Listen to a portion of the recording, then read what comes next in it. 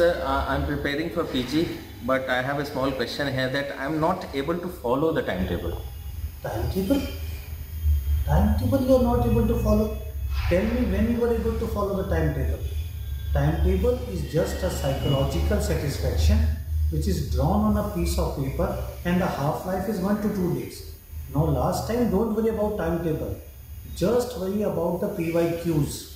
That is the previous year questions.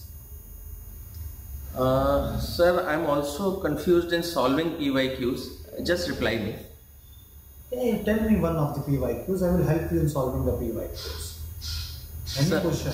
Yes, sir. Sir, I have a question here. I'm just reading the question to you, sir. A seven-year-old child presented with complaints of hematuria with history of sore throat two weeks.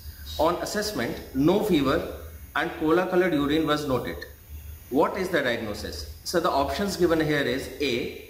PSGN, B. Membranous nephropathy, C. IgA nephropathy, D. Minimal change disease. It's a very simple question. After sore throat, if it is being given, there are two possibilities. Sore throat with hematuria, either it can be PSGN, either it can be IgA nephropathy.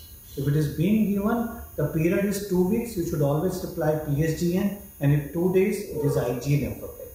And if you don't want to make any such silly mistakes, in the previous year questions, VA DAMS are there with the PYQ ka Baap starting from 13th of Feb on eMedicozar. See you all there, be there and don't let a silly mistake to be done in the exam.